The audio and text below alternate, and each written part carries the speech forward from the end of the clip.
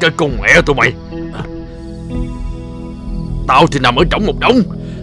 Tụi mày bu ra đây Lôi cho nó. Bỏ mặt tao.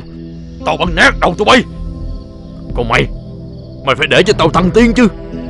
Tại sao mày cứ kìm nén tao hoài vậy? Hả? Tao biết. Mày là do hai hổ lựa chọn Để theo dõi tao. Vì hắn sợ tao phản bội. Nên mới sai một thằng hèn như mày. Để giả giờ đi theo tao. Mày thông minh thiệt, Nhưng đã muộn rồi. Tốt nhất là mày nên nói điều này ra thật sớm. Để bây giờ mày như một con chó dại Đang nằm trên thớt. Bây giờ mày nói ra Thì mày làm gì được tao? Ừ? Thằng Mỹ Lì này á, Chịu nhịn nhục để có được ngày hôm nay. Còn mày? Mày là thằng ngu. Mày quá ngu.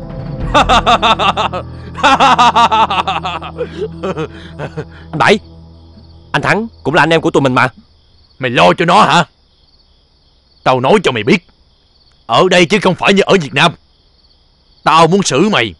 Tao chỉ cần cho viên đạn vô thẳng đầu của mày. Thế là xong. Bây giờ, Tao là anh. Còn nó là một thằng ăn mày. Mày hiểu chưa? Hả thằng ngu? Bảy Ly. Tao biết, Mày có âm mưu lật đổ hai hổ. Mày đã qua lại với Đà Ra và Fanny Hai hổ là một thằng ngu. Tao cảm ơn mày. Nhưng tao không muốn nhận lòng tốt của mày. Mạng của hai hổ Phải do chính tay tao lấy. Tao sẽ giúp mày, Giết hai hổ. Để mày thay thế Vị trí của hai hổ. Thì ra, Mày đã biết hết mọi chuyện hả? Có gì đảm bảo Mày giữ kín miệng không? Chỉ tiếc là tụi bay qua đây. Không thằng nào mang súng. Để tao tiễn mày đi trước. Rồi tao sẽ tiễn hai hổ đi theo sau. Vĩnh biệt.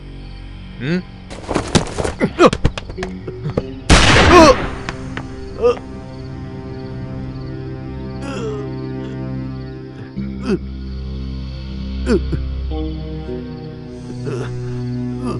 Mày. Cuối phim, Phần thắng thuộc về ai Rất tiếc là tao. Vĩnh biệt.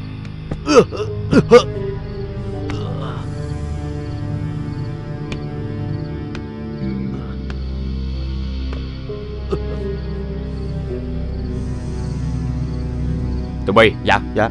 Đi giải thoát các cô gái. Dạ dạ